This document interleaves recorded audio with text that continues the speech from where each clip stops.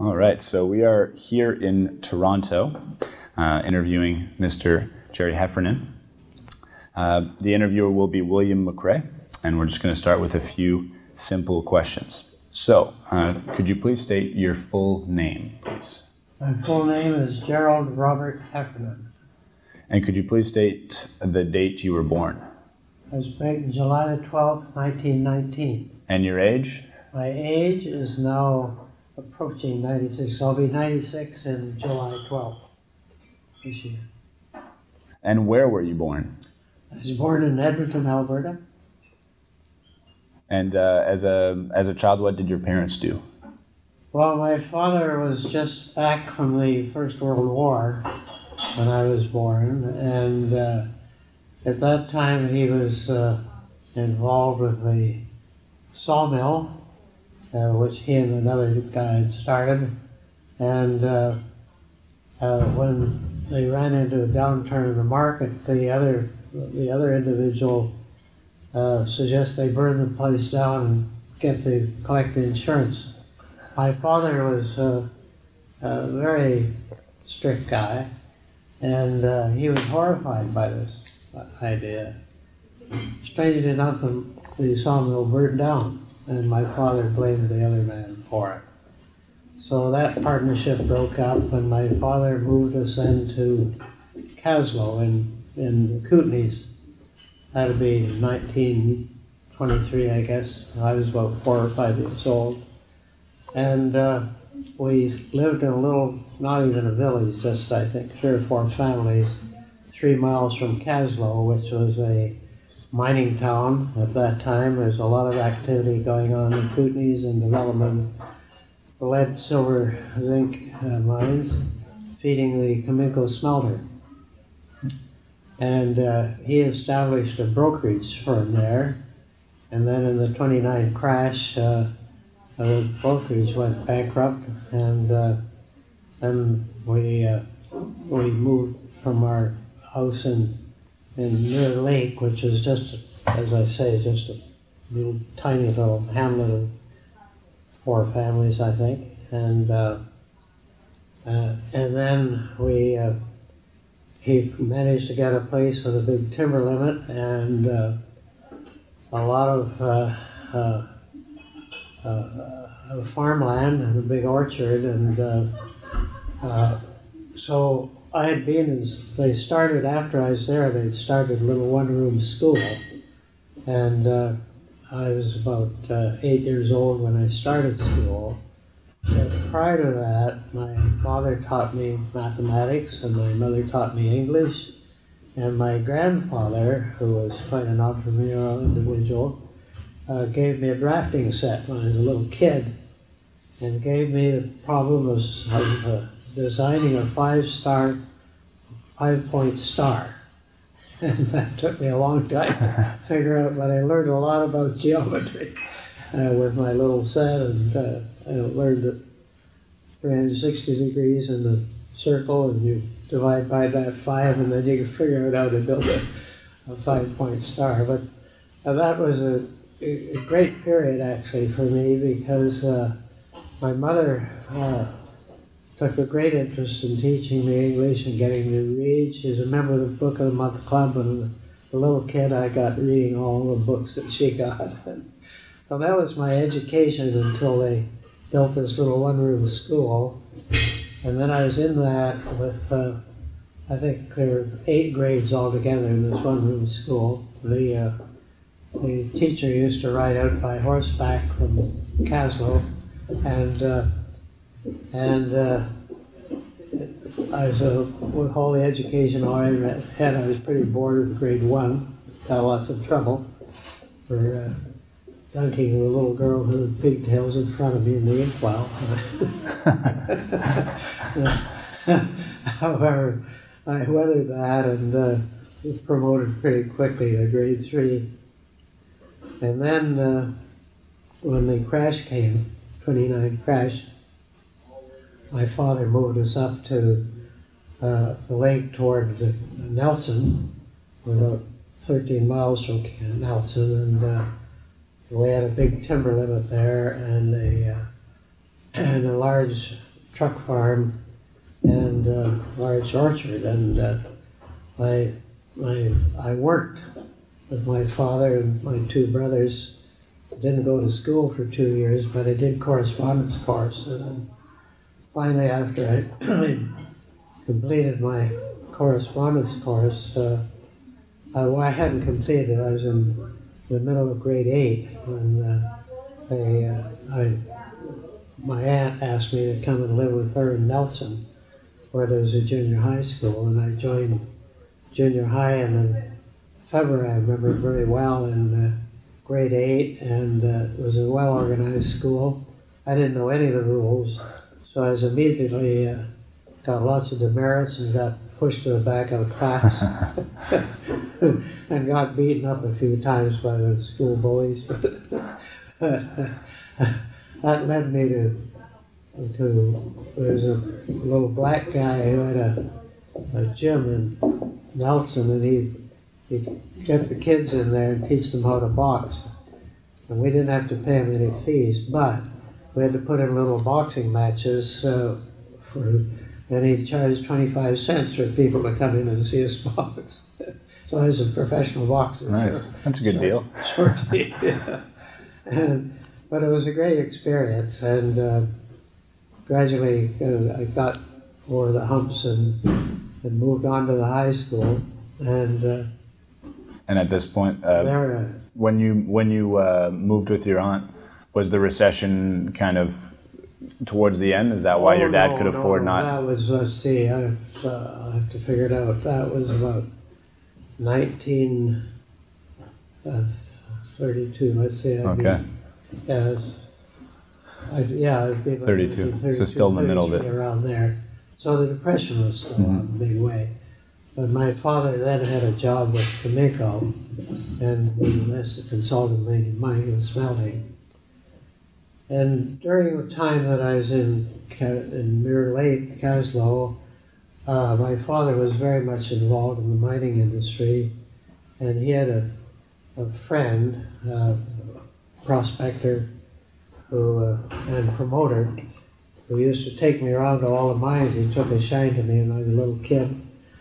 So I got to know all the mineralogy of the area and uh, and got fascinated with it. I even won a five dollar prize in Kaslo on the 24th of May against all the prospectors because they was a ore judging contest and I knew all the stuff in the whole area.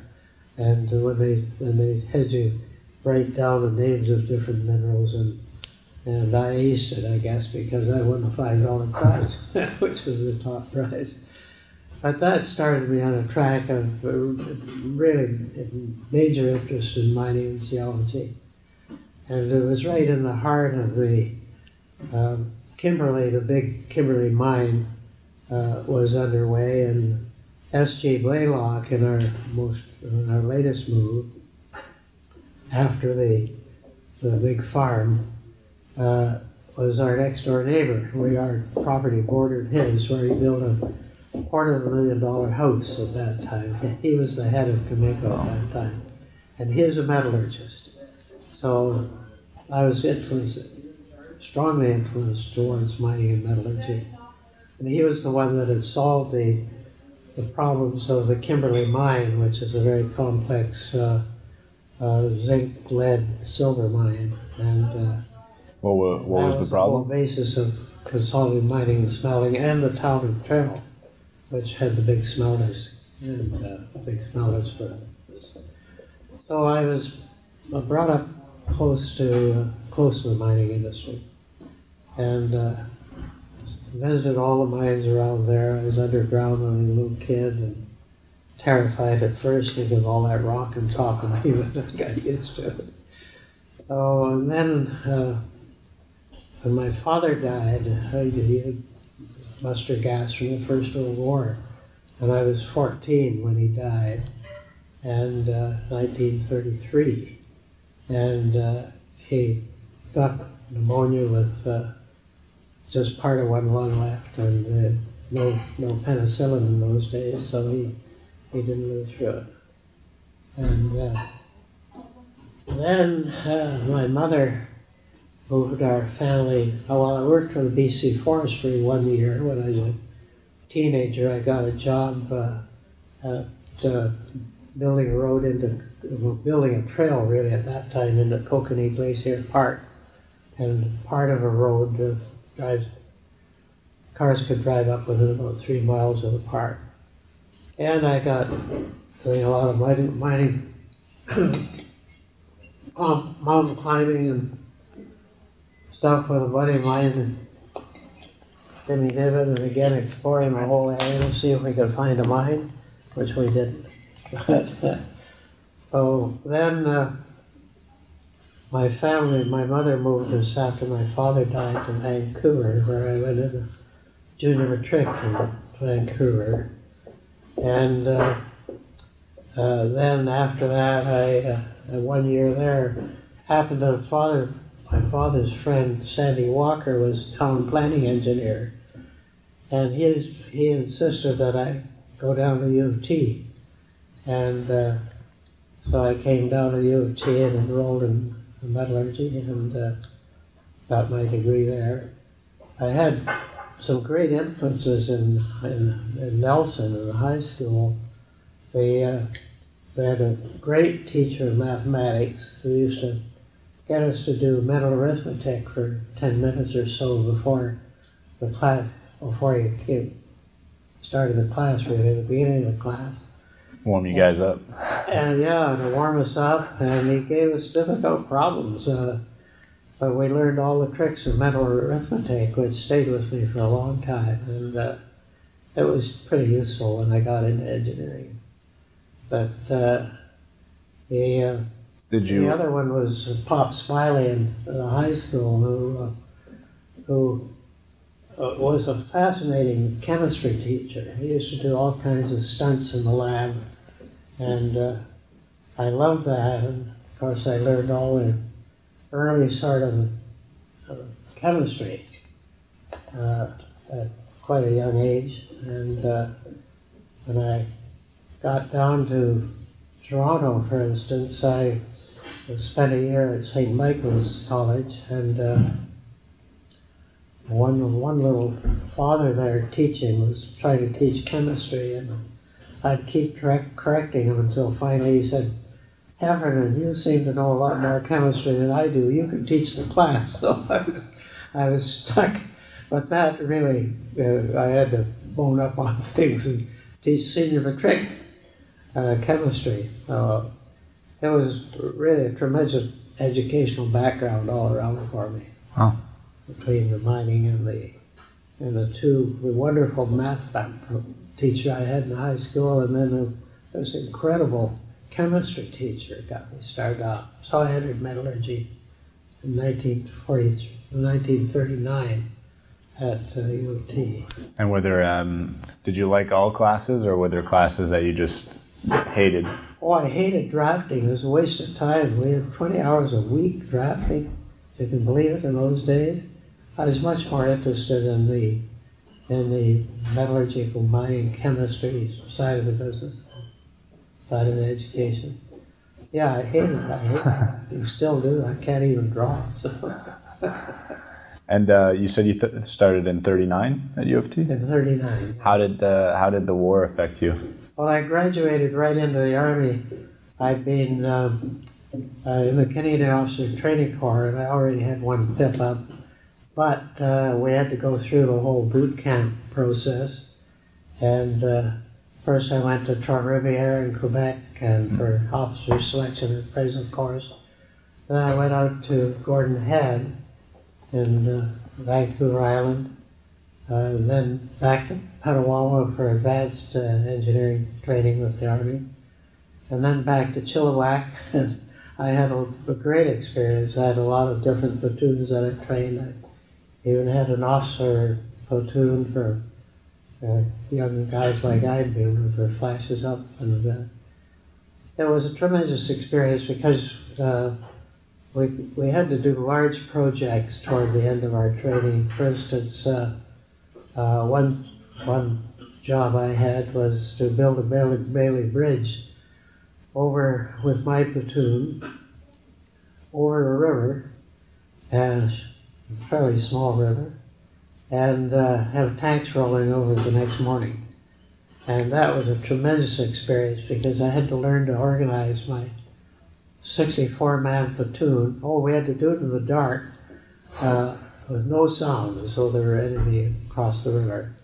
And uh, we uh, built a Bailey Bridge and we had tanks running over. But that was a great lesson in organization and logistics to get that done. And uh, then later on, uh, I had a job to take my platoon to Vancouver and build a, well, it was more than a platoon. We had a company with uh, a, a, a, captain who was in charge and, and uh, a bridge commander.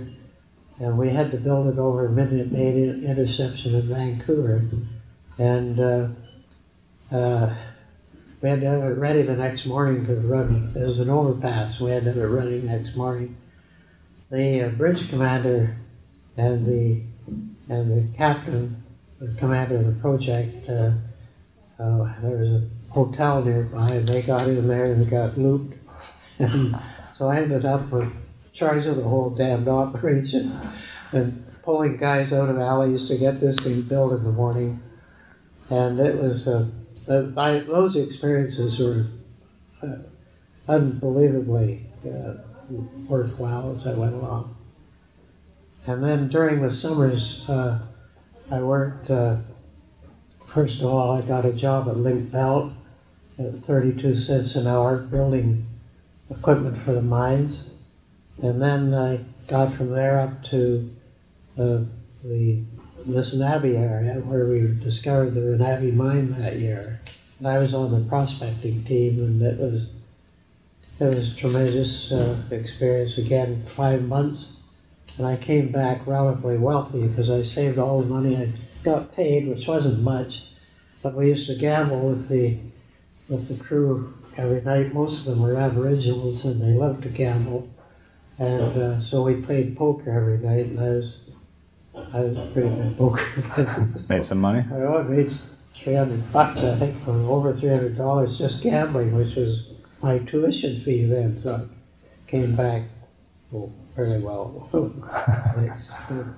and uh, then I got a job at Noranda Smelter, working work through there in the roasters and. Uh, this was after you had graduated? Yeah. No, well, no, still, still in the summers? Five months up at Noranda. And, okay. Uh, the, uh, my prof. that time had a wonderful professor of metallurgy, George Guest, and he was something of a philosopher, and, and uh, he'd say, now when you go to the plant, we, he got us jobs in various operations, I got Noranda, he said, just uh, try to get to learn as much as you can, make a pleasant use of yourself while you're break by going around and studying all the other operations and talking to guys there. So it was a tough experience because it was uh, terrible, terrible fumes, and you wore a mask all the time and the smelter. And uh, the, the work was pretty rugged, but uh, I managed to, I was getting 32 cents an hour, I think, uh, working in the roasters, and then I worked on the reverbs for a while, and across the aisle I saw that they were the guys were punching tuyeres in the converters over there. And, uh, found they paid 40 cents an hour. So I talked the foreman into letting him do that. It just about killed me because you had to wear a big leather apron and, and punch the tuyeres. And, and there's a guy working the other end. He, you're supposed to be at the halfway point, of course. And then if you let them freeze over, you had to take a hammer and work your way through. And I lost about 10 pounds in a week there, but I finally got the hang of it. And, but it was, again, another tremendous learning experience. And then in my final year, I got a job at Link-Belt, and uh, it was a real metallurgical job. They needed somebody in the lab, and they had uh, a lot of stuff going on. They were converting from building bicycles to, to war things for the the Army and Navy, and uh, I I really had a great summer there. They gave me I'd never ridden a bike before, and I didn't have one, didn't have money to buy one. But they gave me a test bike, and uh, they at that time there was a shortage of uh, copper because was all going into ammunitions, and uh, they uh, they had to convert their brass uh, brakes into something else. So I was given the job in the lab and test to work out a place where we could use steel instead of copper, and I I came up with a soft chrome plating eventually, but that was just about killed me because I I jam on my brakes, had a big hill outside the plant, and I'd get my test bike out there and roar down it, jam on the brakes, and then go over the handlebars. but I finally got it right. But that was another tremendous experience. And uh, I had been reading about austempering in the uh, some of the literature I had at school, and uh, uh, one of the problems they had was the bombs, uh, the little pin they had in the bomb, in the Norden bombsight which they were building. And I saw the girls were having trouble with it. They had a sheet of steel glass. They roll these things down and determine which ones were straight, which ones were crooked. And I looked at it and I, I realized the problem was they were distorting during heat treating. So I've been reading about Austin. I talked the foreman into letting me uh, a little salt bath where I could uh, take the, these pins and uh, austemper them so they didn't distort. And uh, uh, that was another great summer because I solved that problem and I became a hero around the plant because now the girls could get 100% production from their, their, their the little pins they were running. But it was, I was just very fortunate with the background experience that I had, uh, both as an early kid. I did my first, uh, when I was up in the, the big farm and that we had, we were providing uh, firewood for Nelson. The town was about 13 miles away. And uh, we had a great big orchard with all the apples going to waste. So one time I was in Nelson and I went over to the jam factory and I said, you know, I've got all these apples and uh, I don't have any way to get to the market. And there's a place next door with a truck had my on, which is $125, a used old truck. I was 13, I think, at the time. So I went in to talk to the manager and I said, you know, if you would give me a contract to move our apples into Nelson, I could go over and get the the garage guy to sell me that that car truck on credit if you would back the credit up with what I'm going to deliver. I was 13 Entrepreneur. yeah, I was an entrepreneur. Well, I'd been an entrepreneur for a long time because when I was a little kid, we used to pick huckleberries and sell them for 10 cents for a big uh, coffee tin full of huckleberries, and I had a seed route where I'd go around selling seeds to all the local little farms, and people were growing vegetables and flowers, and then selling magazine subscriptions and collecting beer bottles. My brother and I would collect beer bottles all summer and then send 12 dozen in a barrel up to Nelson by steaming the little paddle steamers they had. And uh, I can see you're getting bored. No, no, no, no, no. I'm just looking at the. Uh, here, just one moment. It's because one battery is getting weak, Oh. so I'm just gonna switch them out. I was keeping an eye on it so that it wouldn't die, but this is what I'll do. I'll do it right now. No, no, not bored at all.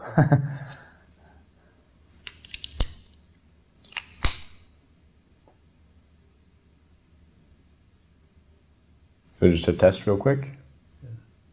Okay. Does it sound all right?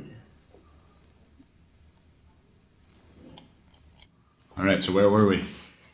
Well, we were uh, in Nelson, I think, and uh, one thing I forgot to tell you is before we moved there, when we were still on the big farm and timber limit, and I bought the truck, we were able to deliver stuff to uh, wood to Nelson, where all everybody's wood, wood burning stoves and furnaces at that time.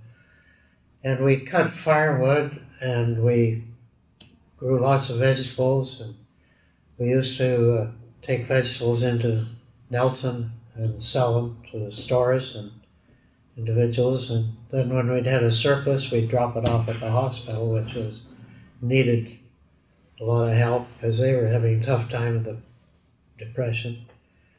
And uh, while I was there, a friend of my father's came along and uh, uh, made a deal with me that uh, if I would look after his pack train, that uh, I could ride the.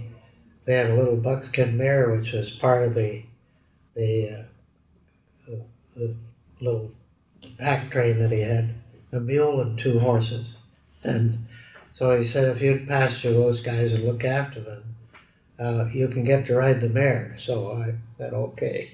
so I, then that uh, when just before spring breakup, he came along. I wasn't in school at that time, but he said, uh, Gerry, I'd like you to run my pack train up to the mine, which is about 20 or 30 miles from Kaslo and up in the mountains, and uh, or from Nelson rather, and up in the mountains. And uh, uh, so I had the job during the winter of uh, running a pack train up there and pulling, and then uh, running the ore out on on on uh, skins, and uh, they were like a kind of like a toboggan, but they're they're cow, cow skins which you turned upside down, and then you'd load the ore on there, and then I built up a, a pile of ore. These are pretty heavy sacks. I built No up kidding. my upper body quite a lot doing that job,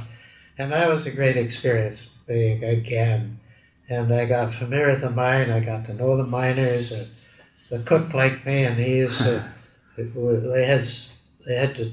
The, the there's twenty odd feet of snow up there, and uh, so the cabins were totally buried in snow, and they had a, a, a ice steps down into the cookhouse, and he'd he'd make apple pies and feed me when I came up, and then I'd I'd rawhide the ore down again and stack it up. And that was, I didn't get paid for that. It's just, uh, Volunteer. just volunteer, yeah. But another great experience in the mining industry. Jack of all trades as a as a teenager. Yeah, yeah, I was. I was, and a young teenager. I was only 13, four- four- 14, I guess, when I was running the pack train. And uh, well, I learned to carry a lot of responsibility as a little guy, and I learned a lot about mines and and uh, decided I didn't want to be an underground mine worker. No, no, It was all hand but I could shovel work, well, dynamite too, you know, but it was all sh- shovel work to load out the core, and they, they, they had tracks, but they pulled the cars, the carts out by hand. They didn't have, and it was pretty brutal work. so you liked the you liked you were interested in the mining subject, but you you didn't want to work. I didn't an want to become a miner. No, I did the prospecting deal with uh, with uh, with uh, uh, on the on the uh, mine the mine up in in in Renabie, the Renabie mine up near Miss Miss Missinab- and uh, I prospected that year. We as a matter of fact, another guy and I were so impressed with the Renabie mine that we decided we'd skip school,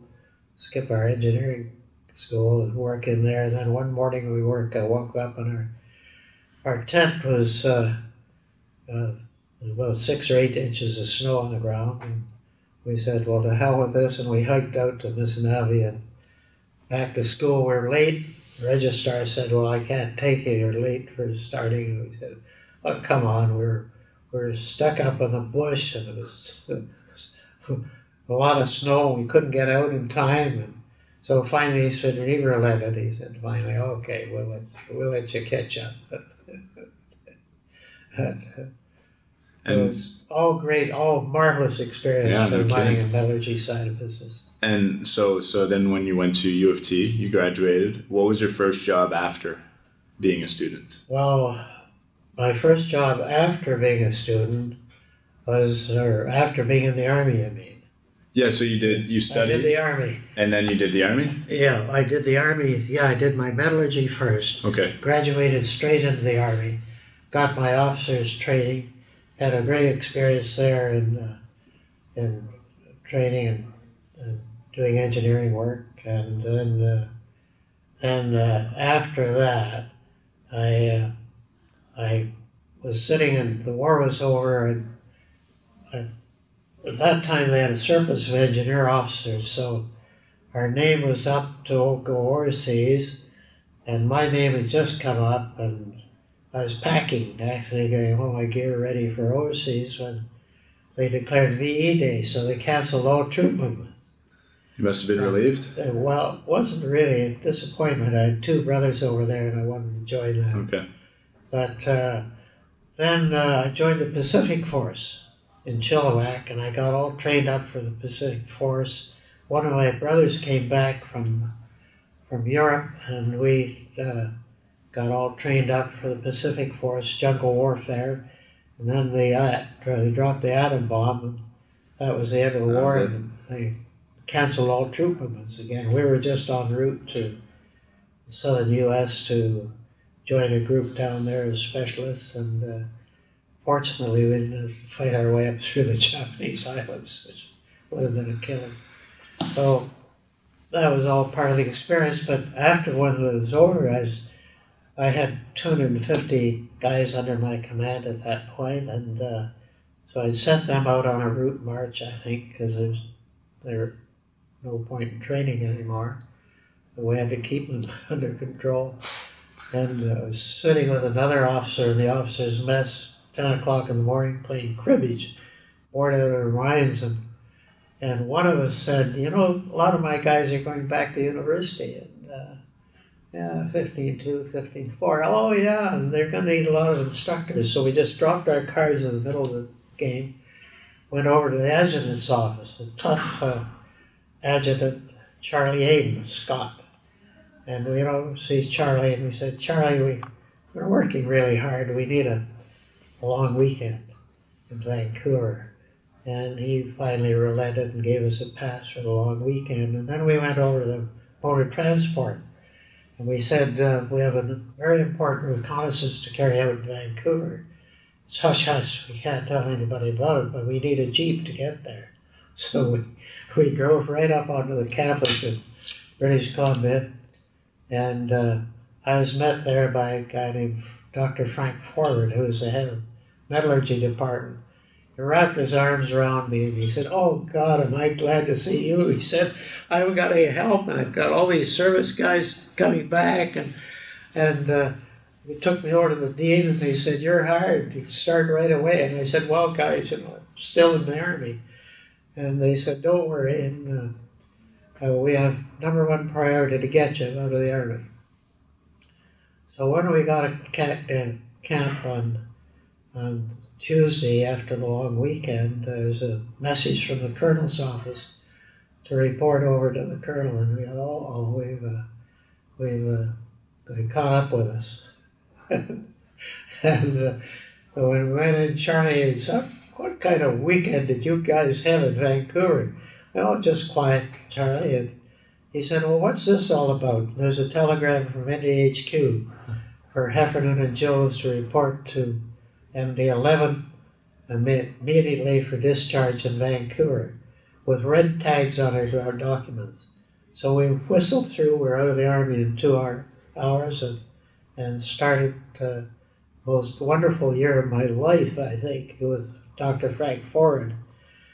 And he had a lot going on and he loaded me with work.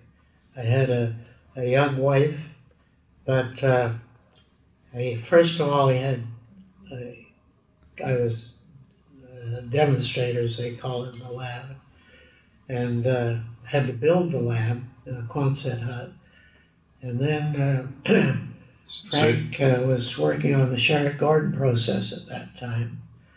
And uh, he paid me 75 cents an hour to stay after hours and work on the project. So I did that, working on the Sherritt Gordon process, which was, and then Frank, they built a pilot plant in in, in Ottawa, and uh, so Frank asked me if I'd take his lectures. So I did lecture the, the metallurgy class, and I did some uh, uh, other stuff that while I was there, I was uh, doing some advanced math and uh, and uh, a lot of scientific stuff and so were you they, uh, were you doing a master's or were you? I was doing a master's. So I was working on my master's, and, and also uh, like a teacher assistant, a, a professor assistant at the same time. Okay. Yeah, and then uh, uh, they were just starting the business school, and I got interested in what they were doing, so I started um, uh, auditing some of their classes, and uh, it was pretty interesting. And then they had a an individual come in Dr. Fleury who had been a colonel in the Army on officer selection. And he put us through a lot of, he, he put us through his tests. He said, for 15 bucks a head, I'll put you through my system for selection. Because he said, most of you guys back from the services, you don't know what you're good at or what you want to do. And he said, I'll run you through my tests. So they had eight hours of tests, no computers in those days. And uh, so we went through our tests, and then he gave us an interview after we'd all completed our tests, and he'd collated the information. And uh, he said, uh, uh, said to me, well, young fellow, when I went to, so what, what are you planning to do? I said, well, sir, I've been offered two jobs. And he said, what are they? And I said, well, one is to stay on the university and get paid as I do my doctorate. And the other is the BC Research Council was just starting up and they'd offered me a job. Most of the guys didn't have any job offers, so I was kind of bucked up about these two job offers. And quick as a wink, Fleury said, Don't take either of them. I said, Why? Can't I do them? He said, Oh, yeah. He said, You can do them. But he said, I'll guarantee you that within five years you'll be climbing the wall in frustration. I said, Oh, what should I do? He said, Get a job in industry. He said, get a job. I don't care whether you get it in sales or, or in, uh, in operations, but get a job in industry. Look at these lists. He said, you'll make a good foreman, a better superintendent. Look at this, a good manager, a very good manager. But look at this, running a large company. And we both had a chuckle over that because he's a young guy. but he said, do it. So I went out and I found a job in a foundry as a metallurgist in a foundry and it was in transition from wartime supply to uh, new products, and I got really involved in there in that foundry. And uh, one thing I found was that it was a black art, run by a bunch of Scots from the Clydebank, and uh, the melter would pour a spoonful of metal and judge the temperature and uh, he was all over the place depending on the light in the place that that was a dull day or bright day. And uh, we had all kinds of what they call cold shuts in the foundry. And then we had a lot of trouble with over over temperature because then the sand would all stick to the castings and they'd be discarded till. So it wasn't consistent at all. As they had no no no system of checking the temperature, so it was all hard and and a dark dark science, really. and uh, so I talked to my boss, the president of the company. I said, let me buy an optical pyrometer. So he said, okay. So I bought one, and Jimmy, the superintendent of the plant, he was a Duder Scott, and he said, it'll nae work, lad. That was his favorite talk every time I came up with it. It'll nae work. And he used to throw a little envelope of tobacco for something into a ladle and was going to make it right. So, so I finally got confidence from the melter and from the molders particularly, because I could predict the temperature pretty accurately with the optical pyrometer. And then uh, I did a lot of other stuff there, which helped the foundry. I've been transitioned from, uh, I got into the mining industry a lot because uh, we were trying to find products for the mines and I developed uh, austenitic manganese steel was a, a hard wearing steel and wear resistant steel. And then uh, I, I found the, the guys, they, they at a dock at the end of the foundry, and the guys were dumping all the gates and risers from the castings from my austenitic manganese casting into the ocean. And so I said, What are you doing that for? And they said, Well, the, guy said, the superintendent said, It comes up in the mold, you know, lad. And I said, Oh, I think I know the problem. And I said, Jimmy, let me, uh, let me get rigged up to do some oxygen uh, blowing in the, because I think it's hard to, he didn't know what, what it was all about. Finally relented and let me, I hooked up with, uh, with uh, a can of liquid air and I told him what I wanted to do. So at a very early stage, we blew oxygen into the furnace just with a pipe, and lo and behold, no more scrap castings. And uh, and uh, so then, uh, oh well, the reason I did that was that they, he said, uh, I said, why are you why are you doing that? I think I, maybe I went over that. Why are you scrapping all that? He says it comes up in the walls. Boy, mm-hmm. I knew it was hydrogen. And uh, then the oxygen, very with great reluctance, he poured a casting, small heat with the, with the stuff that I'd blown the hydrogen out of, and no more problems. So then I got went up a notch in Jimmy's estimation, and then there are a lot of other things that he and I would fight about. I got my first ulcer because every morning I'd go in and have a fight with Jimmy but then. Uh, was he your boss? Uh, he, or well, he was the superintendent, and okay. he was, but my boss was really the president of the company. And your position but exactly I, at that time? Well, was I was metallurgist. Metallurgist for okay. the company, and I had a lot of tre- tremendous experience there. And uh, when Frank Forward, I forgot to tell you, but when Frank Forward also had a consulting practice in Vancouver, he got so busy teaching and uh, and on the Sherritt Gordon process, they asked me to take over his consulting practice at 75 cents an hour. So I said, sure.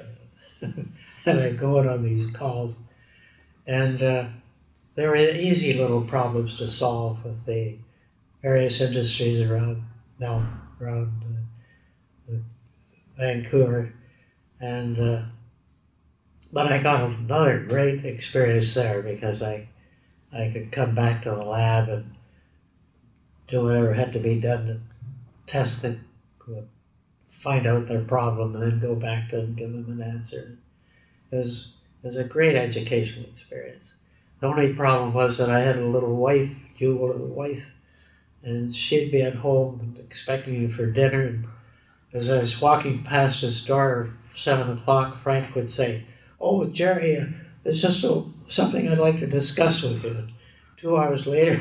I'd be heading for home walking. But, uh, but it was, uh, that background was just incredible. Frank was a brilliant metallurgist.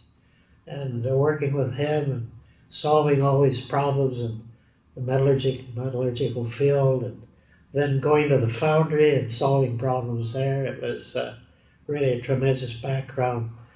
Then the foundry went bankrupt. The, the president had had a heart attack so he appointed me uh, assistant general manager, and I was running the whole foundry.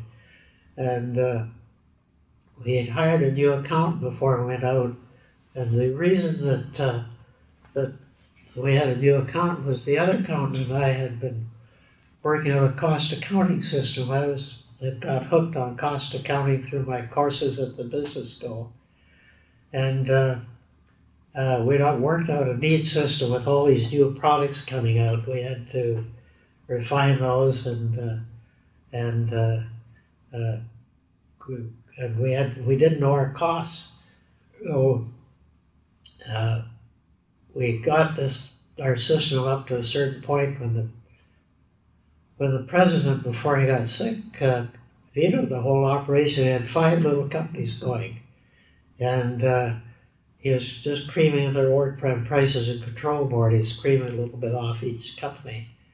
And uh, well, when we found when that we showed him the, the outline we had for bringing our costs under control, he vetoed it.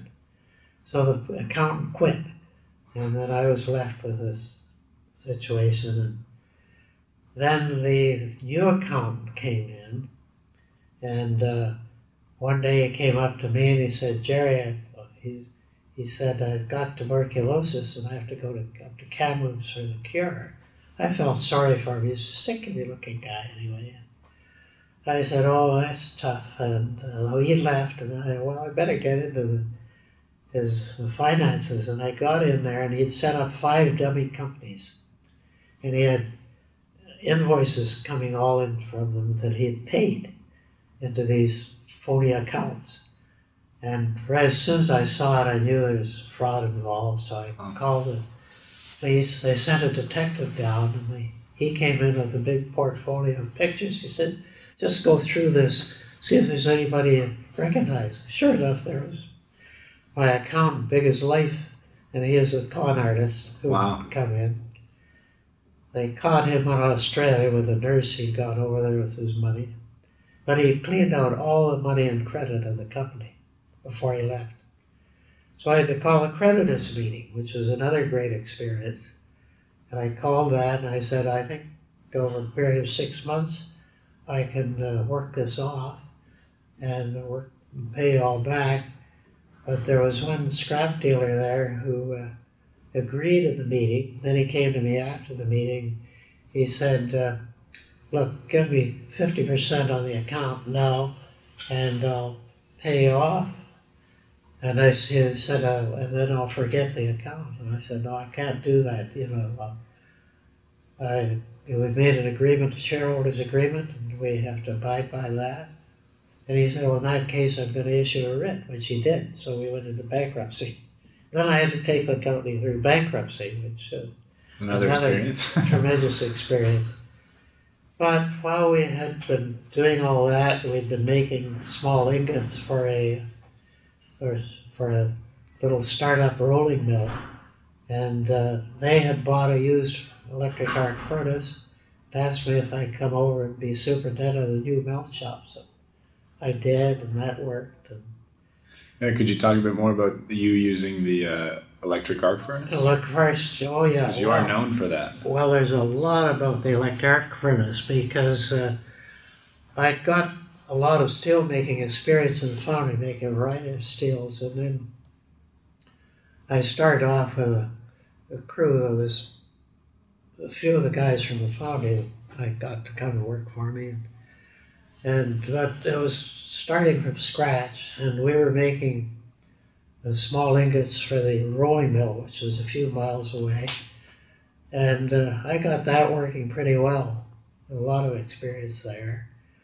And uh, then we were working so well that we, the rolling mill couldn't roll all our stuff that we're turning out. So one day the the president of the company, we called him managing director in those days, uh, called me up and said, Sunday, called me up and said, I want you to see you at home tonight. So I went back to his house. He said, Tonight at midnight, I want you to take over the rolling mill. He said, I don't know who you, who you hire who you fire, but make that damn place work. And I didn't know anything much about rolling. But I went over there and the superintendent quit, superintendent quit, and the head roller quit, and there's one guy I got to know a bit on the rolling mill, Chris Smelsley, and What do you do exactly in a rolling mill? well, in a rolling mill, you take these billets, which are cold, or small ingots, and they had a reheat furnace there, gas fired, oil fired, actually, before the days of gas. And, uh, and uh, you heated them up to rolling temperature. And then we had what we called a roughing mill, a three high mill roughing mill. And these guys would take these 250 pound billets on tongs out of red hot out of the furnace, and they were run down by hand from the from the furnace to the mill, and uh, then through the mill. They work it through the mill, and then they had a, what we called a cross country mill, where again tongsmen would take it through the cross country mill, and Chris Smelsley was the finisher, and I noticed he was pretty good. He he always had his guys set properly, and he was a good tongsman, quite an athletic guy. And so uh, after the superintendent and the head roller quit, I said, uh, Chris, do you think you could take over the, the head roller's job? Said, oh, I'll give it a try. and he turned out to be great. As a matter of fact, he became chief executive of one of our companies later. Didn't have a big education, about grade 11 or something. And, uh, but he was really smart. He kept on reading, and learning, and reading and learning. And uh, it was a pretty raw experience around this, this plant. It was out of control. And the first uh, night I was there, I went up to see how things were going with the reheat furnace. And here were a bunch of guys uh, chasing another one at a jug of wine, not a bottle, but a jug of wine around the reheat furnace. And when he, I was furious, pretty hot tempered in those days, so when he came by, I tripped him and I caught the jug and I smashed it on the ground and I said, okay, you guys, oh, God, no more drinking in this crew. Oh, okay. So they went back to work. And then I went down, and still in the middle of the night, and uh, I was trying to catch up on the paperwork, such as it was in the office, and uh, I heard the mill stop, so I went up to see what's, why it stopped we had a little change room. We called it a dry, where the guys would change their into their street clothes. And here they were all shooting crap around a pile of money. Again, my temperature got the better of me. I grabbed the money and threw it around the room. I said, okay, you guys, room number two. No gambling in this place. So they said, okay, went back to work. And then an hour or so later, I was working one a big, mean-looking guy who's uh, on the reheat furnace, 250 pound guy, and, and uh, he's leading a little delegation. He came down. He said, Gerry, you've been making a lot of new rules around here. He said, what happens if we don't obey them? I said, well, George, you see that road up to Marine Drive? It's not very far, is it? Uh, he said, no. He's kind of a dumb guy. I said, well, it's one hell of a long way back. He said, Gerry, don't get mad. We just wanted to know.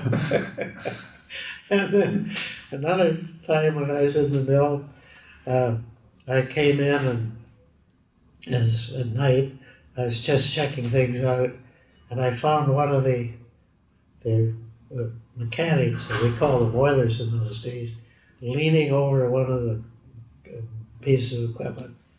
I wonder what's wrong with him. I went up, and he was drunk as a skunk. So I said, you know the rules. Get your stuff and, and uh, head out of here. Pick up your pay tomorrow morning. So he grumbled, but he left. And, and then uh, a while later, again, I was catching up on some work.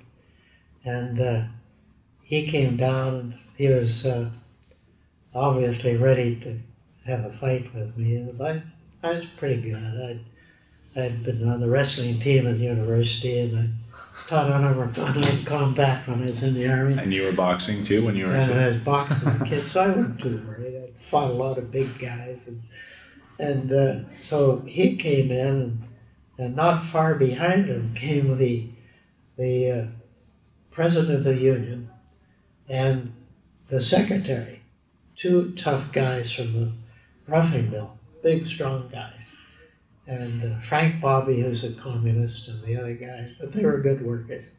They came in, they grabbed this guy on an each arm, wheeled him out, and I said, What was that all about? When they came back, and they said, Well, Gerry, did you know he had a knife and he was going to kill you? I said, Oh, might have had trouble.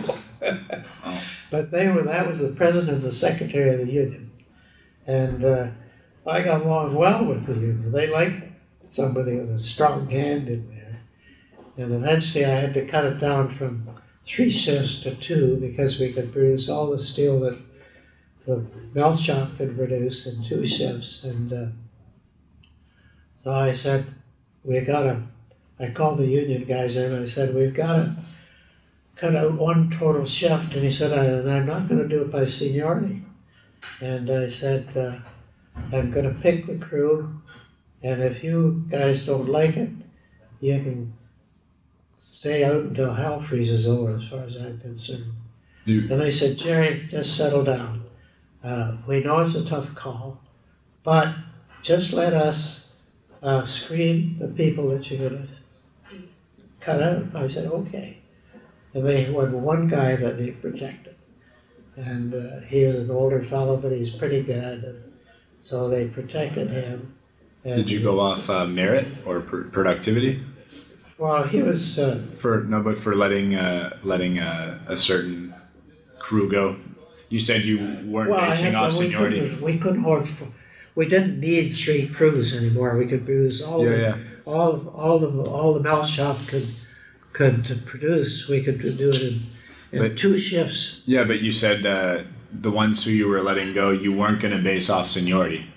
No, I So said did you base off merit? Yeah, and, Yeah, know, whether they productivity. whether their laggards fall, what their tendency rate it was, and so on. If they were goofing off a lot, stuff like that, and I picked them out, and I, I just made one mistake. And this was an older fellow who happened to be the father of a girl who Chris Belsley later on married, and uh, oh, it was a good choice. and uh, anyway, that was a tremendous experience, and then as we got making money again uh, in the plant and things were going well, I, I, I, uh, the Leduc uh, happened and uh, and I said, you know, there's an opportunity to put this kind of mill up in Edmonton. And so the, the uh, chief executive said, well, it sounds like a good idea. So I worked hard. I worked a lot at night and putting together, drawing up a plan for the, the operation at in Edmonton, and then uh, This is to open a rolling mill, yeah, for this is a melt shop a melt shop. and and rolling mill Com- okay. combination. So, so he said, oh, by that time I'd been made general superintendent of the whole organization, and it was running pretty well. And uh, so when I proposed this new proposition, and I'd been there about four years, I guess, by then, and uh, or four years after I got out of the army, and uh, it was in 1954. So I've been out of the army in, in uh, 45, I guess. And, yeah, it was nine years later. I'd done the university thing, and then I'd been at the, at the steel mill. And uh, the managing director liked the proposition, and I kept him informed of what I was doing, the plan. Did the business study on it, and showed him the finances. And uh, then he had a board a meeting of the board, and uh, and some of the top management people. It happened his son was sales manager for the company, and uh, I laid out the plan to the board, and they seemed to like it. And uh, and his son uh, was hated flying, and he said, "What do you want me to do? Get ulcer?" Oh, he was totally opposed to the idea. He said, "What do you want me to do? Get ulcers flying back and forth to to Edmonton?" And I again, my fiery temper came out, and I was really angry. And I said, "Jerry, we don't even need you up there. You won't have to look at come around." And uh, and that kind of got him all mad at me, and there was a shouting match, and finally the the managing director said, "Heard enough of that operation." Said it was causing too much dissension to the company. I don't want to hear it again. And I guess I was white with rage, and I just got up and I said, "You won't." And I walked it, and I went down to see an engineer, Bartholomew, had a, a company in in in Vancouver, and he'd been working closely with me on the development of the electric furnace and improving its output and helping me a lot on the rolling mill and electrical stuff. And so I went to see down Barth. He'd been like a second father to me. Uh, one time my picture had appeared on the, the Western Miner front page picture. And, and Barth, Barth scolded me. He said, Jerry, when you're in business, avoid publicity like the plague.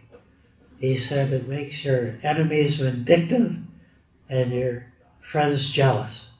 So I said, oh, that's a good idea. oh, so anyway, when I went down to see Barth, who's like a second father to me, and uh, he said, I said, Barth, I don't know what I'm going to do, but I'm going to quit that company.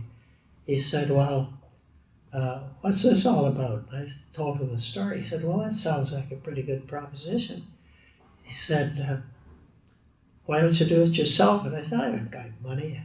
I might be able to scare up 10,000 bucks. By that time, we had a, a little family and, uh, and no money. And, and, and uh, he said, well, I've got a little, and I have some friends who have a lot. They're Gibson Brothers in Toronto, a logging company. So they quite laid out this plan where we'd lever the company very highly with fifteen thousand dollars of equity, three hundred fifty thousand of preferred shares, and uh, and the remainder in debentures with an equity kicker. The preferred shares with an equity kicker. So uh, Clark Gibson said, "Well, that's pretty good." He said, "We'll put up the most of the 350 if you can find the rest of it." And uh, and uh, then Barth said, "I'm going over to England." He said, "I have some friends with over there have a lot of money. Give me a one pager on it." And so the next thing I knew, he went over to the was the Rio Tinto guys who became the Rio Tinto guys, Sir Mark Turner, and uh, so the next thing I knew, there was a guy calling me on me from their company, and uh, he uh, he liked it, so I quit my job, and uh, we financed the company. Got one difficult problem because the Brits had promised to put up a million dollars in the debentures. The total mining financing was one million three hundred sixty-five thousand dollars. If you can imagine building a steel mill for that, and uh, so this was pretty difficult. And uh, but uh, I went in to see Alan. Uh, uh, oh dear, my memory's getting bad. Uh,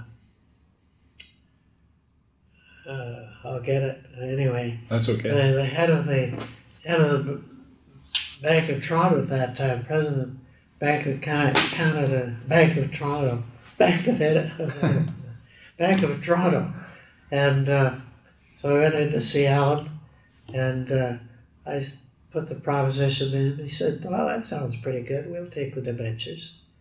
And uh, a startup, if you can imagine, with a young guy, but uh, but he was he liked it, and uh, so we got started with our financing, and away we went, and uh, and uh, the, uh,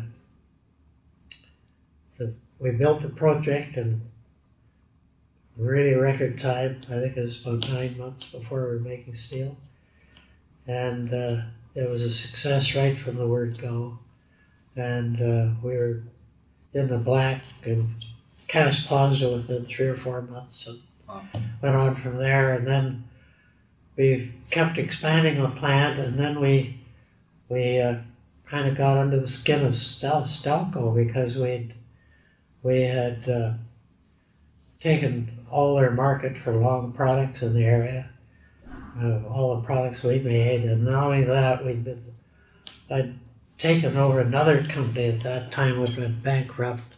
It was making products for the oil industry, and uh, we took over some of their products, and uh, then they had one particularly, which was a great success, the B7 stud, which is a very strong bolt for the oil uh, industry.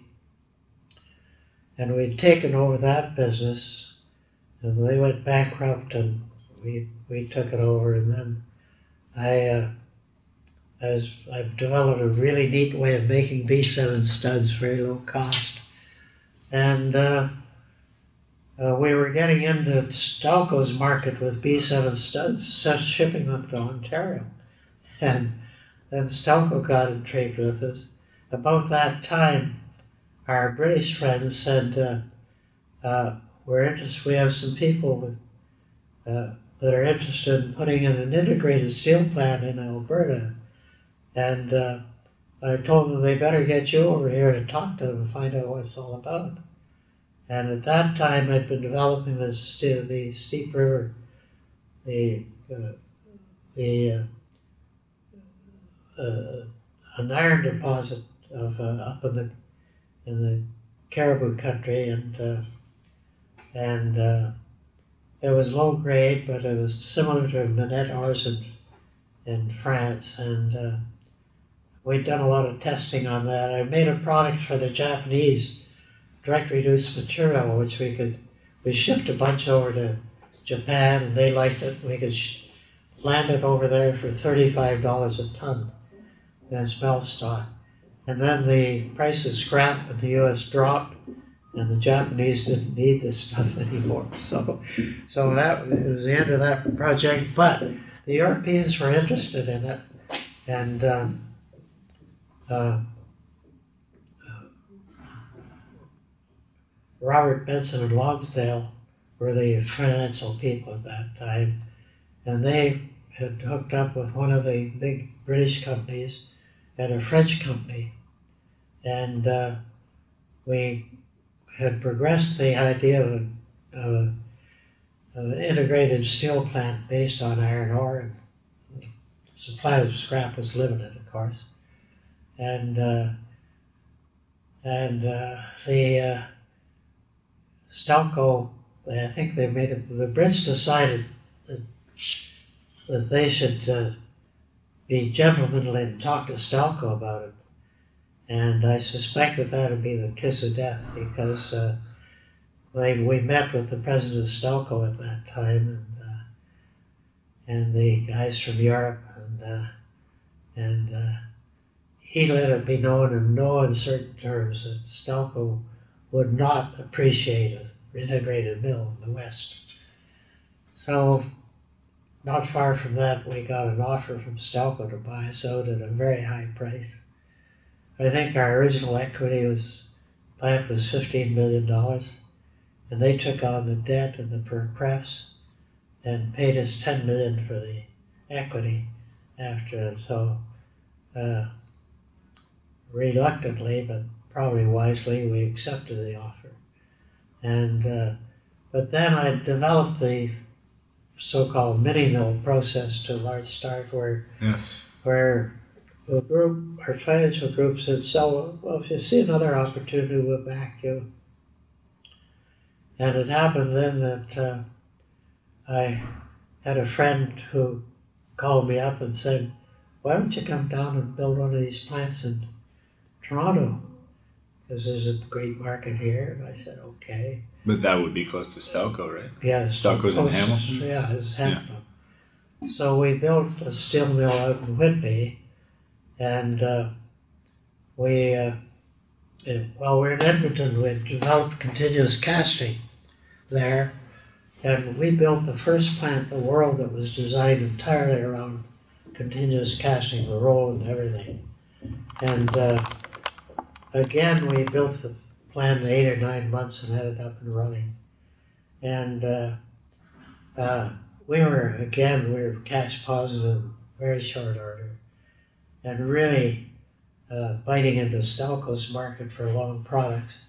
But uh, we had a big advantage, and I, Stelco, I, the directors asked me, well, what happens if Stelco lowers the price? I said, well, the market across the know, border is wide open, and uh, if they bring the price down, we could survive.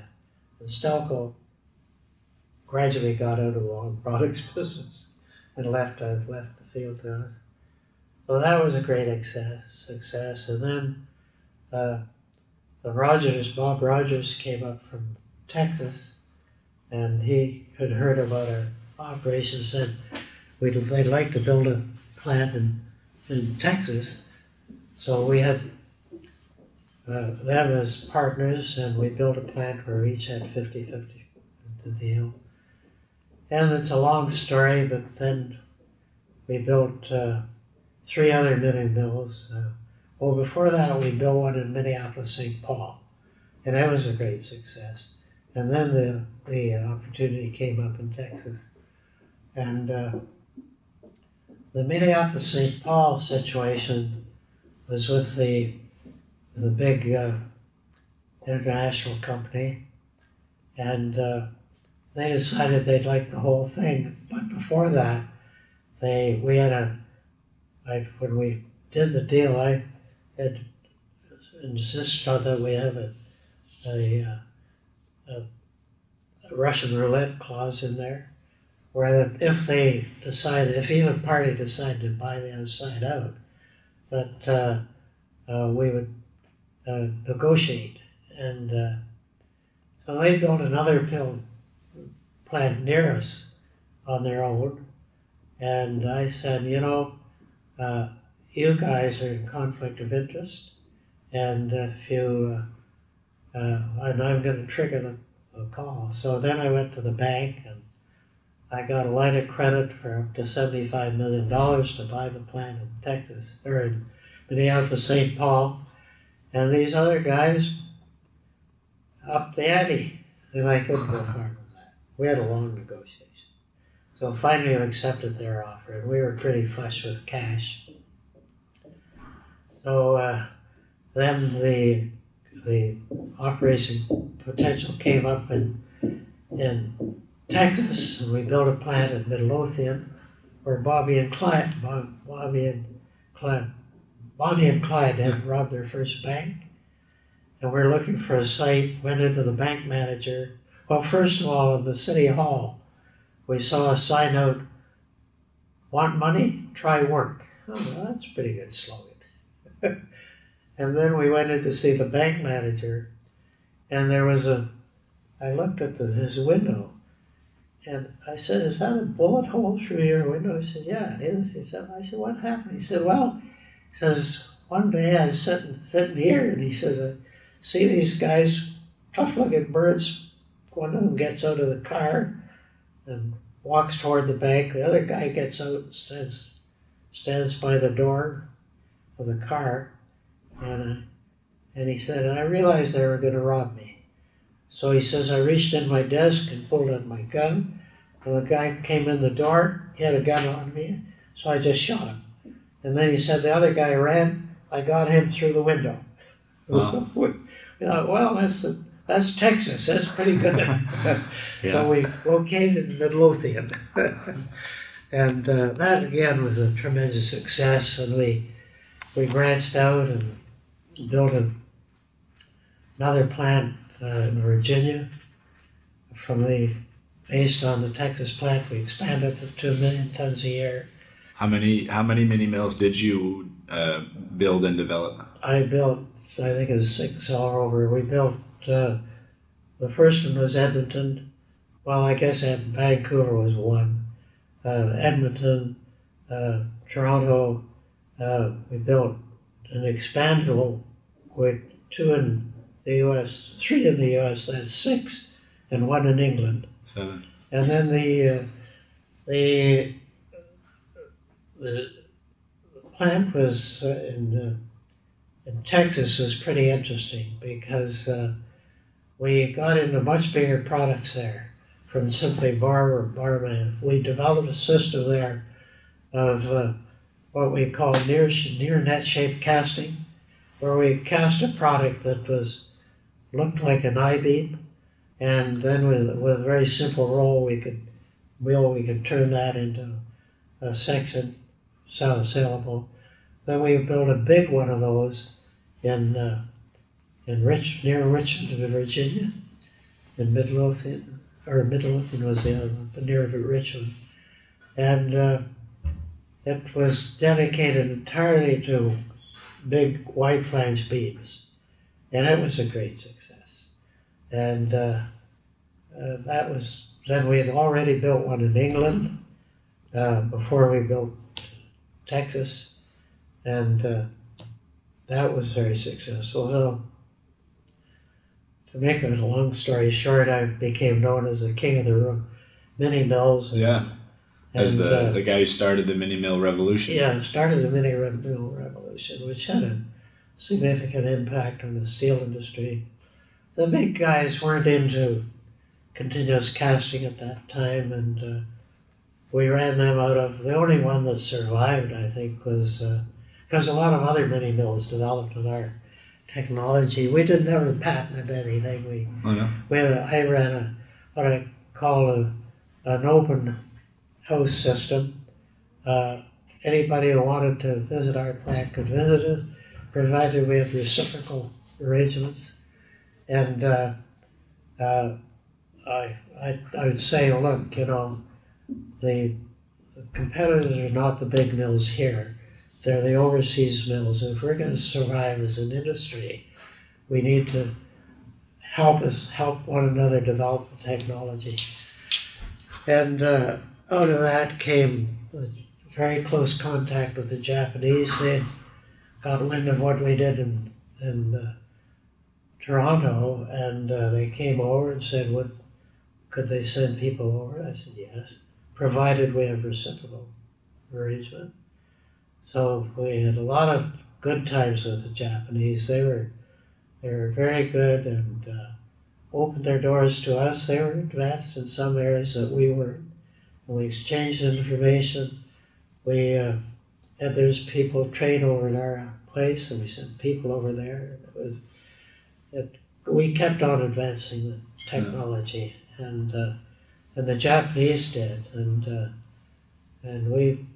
I was back and forth to Japan. I even learned a bit of the language. I, I when I was going to spend a lot of time there, I was in Edmonton at the time. I knew that I'd be when we made our first contact with the Japs, and so I knew we'd be over there a lot. And uh, so I uh, called up the university in Edmonton and said, "Have you got an exchange student over there that could teach me Japanese?" They said, "Yes." So this little girl, Nangiko Koike, turned up. And uh, she's a tough little bird, and she saw us studying the Japanese kanji characters and all this stuff, and she just took my books and wiped them aside. Said, "You'll never learn Japanese that way. I will teach you phonetically." Hmm. So, I she'd come over for dinner at night, and we'd tape the recordings, and she'd teach me Japanese, and and uh, so I learned to speak uh, the language reasonably well.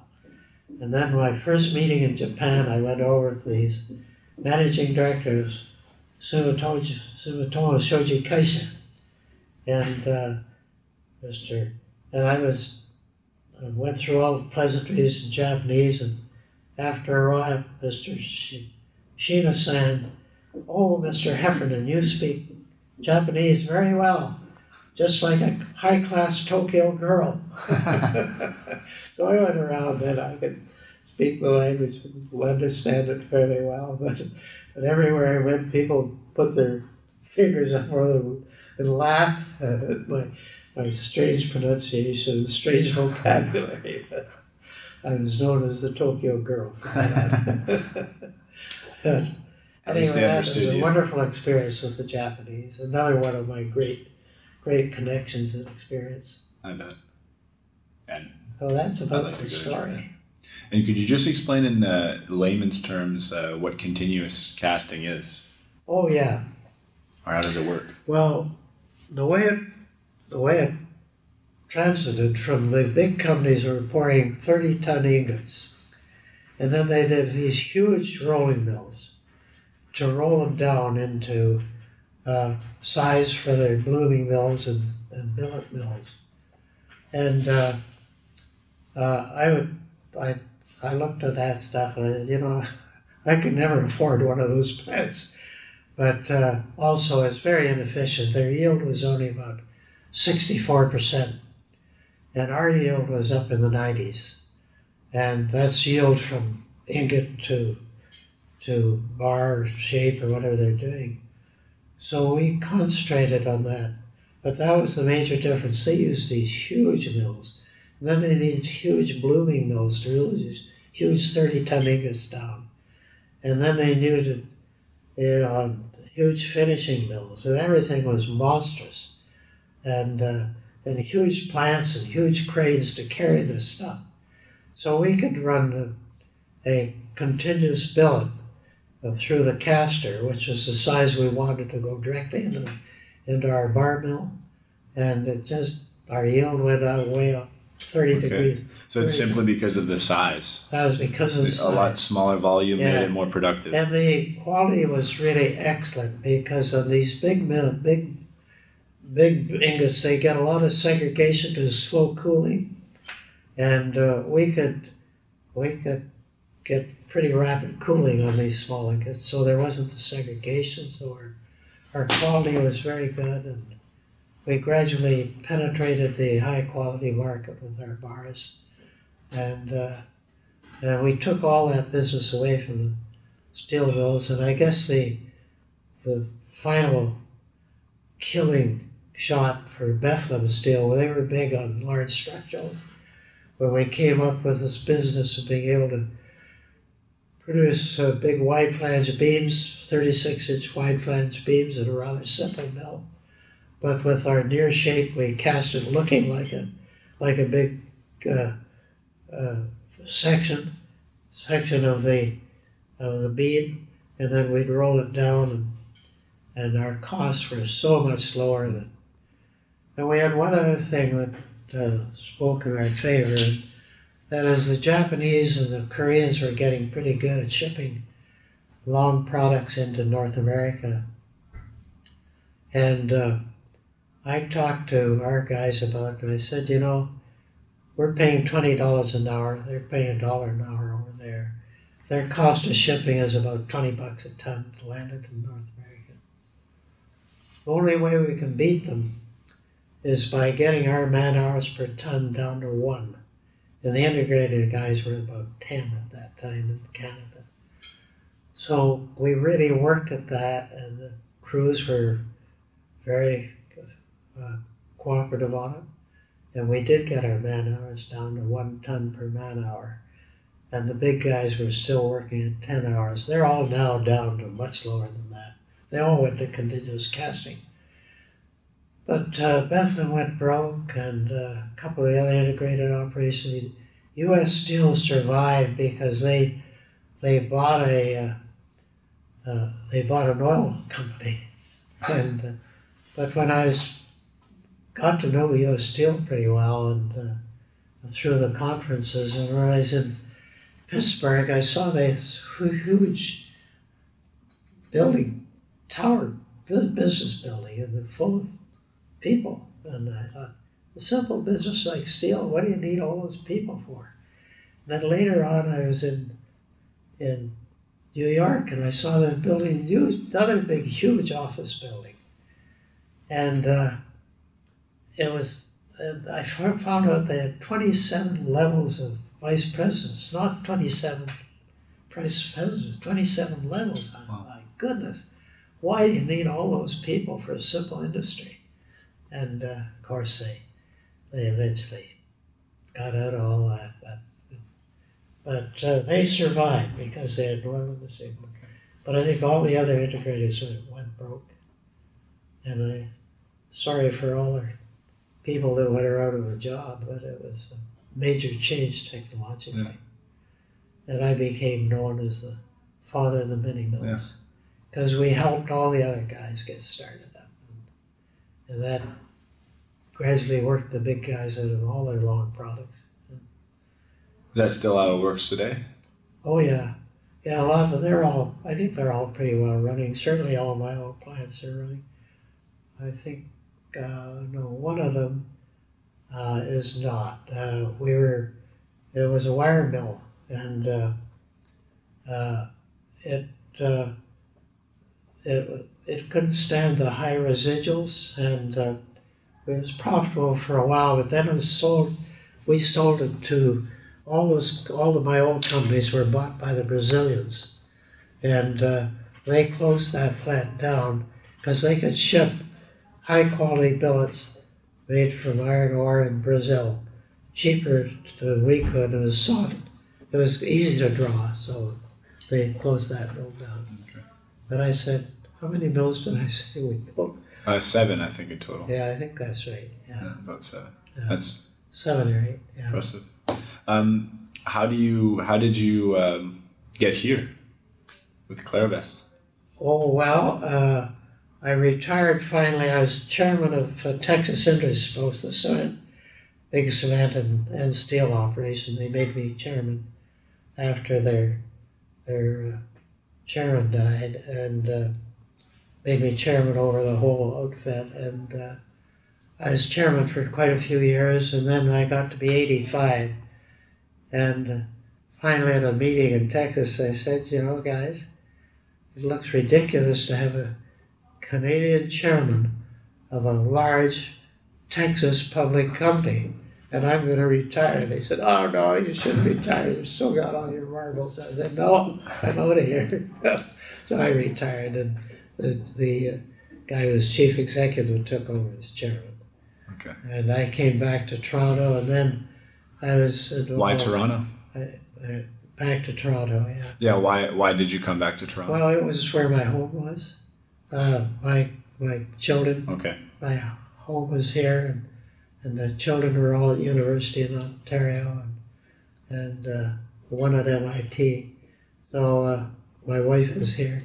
I used to commute back and forth to Texas and back and forth to England, and back and forth to everywhere. So I, was tired of that, all that stuff. But, uh, but then uh, uh, I had a great friend who uh, I'd met when I was building Lake Ontario Steel.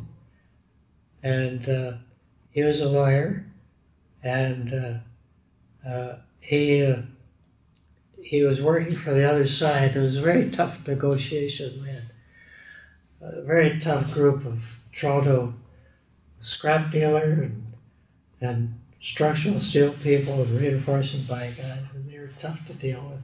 One nut and bolt factory guy, and uh, uh, and Lionel Schipper, the lawyer, had been so good on their side that after we got the deal settled, and uh, I asked him if he'd like to be be uh, become the lawyer for the company, counsel for the company. He said, "Yeah, I would. He's a young guy." So he was terrific. And then, after I came back from uh, all my activities down there, or got involved in other things and had time, uh, he said, Well, Joe Rotman's just starting uh, this company up. It's called Royale Securities at that time. And uh, I, he said, Would you like to meet him? So I met Joe. He was, he was collecting some money to start this little operation up. So I said, yeah, I'll, I'll invest with you. Became a director, and then we we changed the head. The bank of the Royal Bank got upset by our name in the investment business, so we changed our my name to Clairvest, and that's we just took the name of the street, Claire, St. Clair Okay. and investment, so it became Clairvest, and that was it. And then some of we didn't get off to a really good start, and some of the other guys wanted out that were in, so I bought their shares at half price or something because I had confidence in Joe.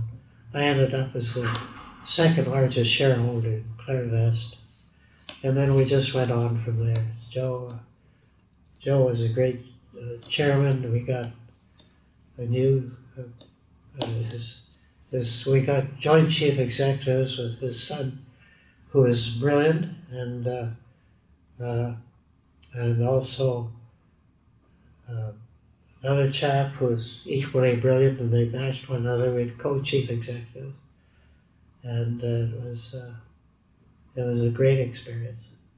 And I'm getting to the stage where one of these days I'll say, "Look, I'm getting too old to be." Director. I was gonna say you said you retired, but you didn't really retire. No, I didn't. Came here and started Clairvest. No, and I got into a lot of other things, and then Just to just to finish off, um, what would you say is the uh, are, what would you say are you proudest of professionally in your life? oh, I It's guess uh, it'd have to be the development of the mini mills. Yeah. And it was uh, it was a long, long story and a long tale, with a lot of developments, a lot of great science and engineering went into it, and it was, it was really. The other thing that I'm really proud of is starting commercialization fellowships at the University of Toronto. And we give these either graduates with a master's or, or doctorate in science or engineering. We give them two years to develop their to technology and to come up with a, a, a, a viable company, which we then help finance through the early stages. And uh, we've had some successes there, some very good successes there. So I would say those two things kind of go hand in hand. Mhm. The development of, of the virtuous circle, part of it, and uh, and then uh, and the support we gave Dr. Fraser Mustard and the things that have come out. The, the two programs we started with there uh, were, were uh, the Early Childhood Development Program and the Artificial Intelligence and Robotics. And uh, while we're on, on that program, Canada didn't have much going in AI and robotics at that time. And we got a call from, from Ottawa asking us under what condition uh, we should uh, participate to the tune of $800 million in the space station. And Jim Ham was president of the university, a classmate of mine at that time. And Jim and I, or Fraser had with Jim and me that thing, and we wrote a letter for him back to Ottawa that on one condition, and that was that we get the and robotics for the space station. And out of that came the Canadarm, which you've seen operate, and a lot We of other it. things. We talk about it in our museum. And it, it, it gave a kickstart to artificial intelligence robotics in Canada. Geoffrey Hinton, who's the artificial intelligence guy, has just been hired by Google, and he's into uh, deep neural networks and uh, with tremendous potential. And there are a lot of other good things that come out of that AI and robotics program. So I guess you'd have to link that to the, the the success of, of uh, CIFAR and the success of the, com- of the commercialization fellowships, which I hope will catch on across Canada, and then the, the, uh, Mini mills. yeah. Uh, so that was, Excellent. that's Excellent. enough for you. Yeah, and the last thing I thing. can see you're yawning, so you're getting. No, no, absolutely not. um, last question, and this is actually probably my favorite question that I like to ask, is um, if you were speaking to someone uh, younger like me or a student uh, or someone like that, what, and then you have to pick one, what would be the one life lesson or piece of advice to give That them? I've had, To give them, or me? oh. oh What life lesson do you have to give? Oh, I would say early education and work. Start working from the time you're a little kid.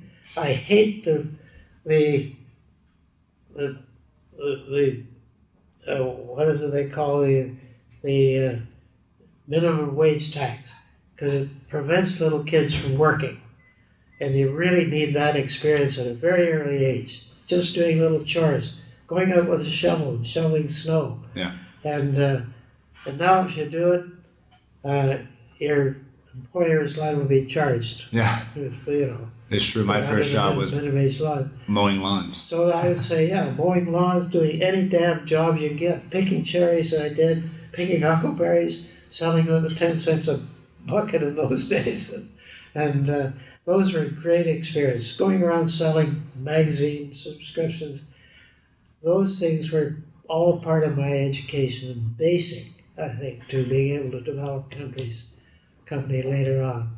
And that way you get to know people, you get to understand people much better. You, you, you learn what it is to to actually get into marketing, which I was never very good at. But with my seed root and all that stuff. I learned a lot. And uh, so I'd say those two things. You asked for only one? But That's fine. That's good enough. I'd say, say early education is Yeah, it, absolutely. that includes working as a young child. Yeah, because you learn a lot. Yeah. Absolutely. Right on. Well, Mr. Heffernan, thank you very much. Okay. Well, thank you. Much appreciated. Hope it works out all right for you.